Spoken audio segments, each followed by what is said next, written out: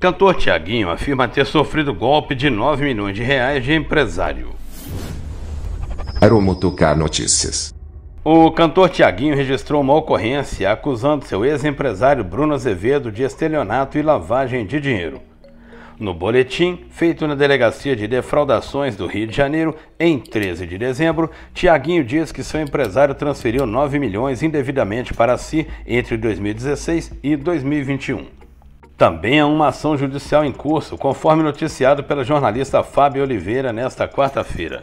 Segundo Tiaguinho, Azevedo recebia R$ 31.250 mensais pelo trabalho, mais uma quantia variável de acordo com os trabalhos do cantor, além de ser administrador de duas empresas de Tiaguinho. Segundo o registro, a desconfiança do cantor começou quando percebeu que o empresário passou a comprar bens caros como um avião de 29 milhões e carros que não condiziriam com seus ganhos legais. Segundo o cantor relatou, houve movimentações financeiras sucessivas e atípicas nas contas bancárias de titularidade da empresa Paz e Bem e Tiaguinho, que supostamente seriam destinadas a aplicações financeiras. Além disso, houve aplicações denominadas TH Ativa, aparentemente feitas por meio da Híbrido, outra empresa de Tiaguinho.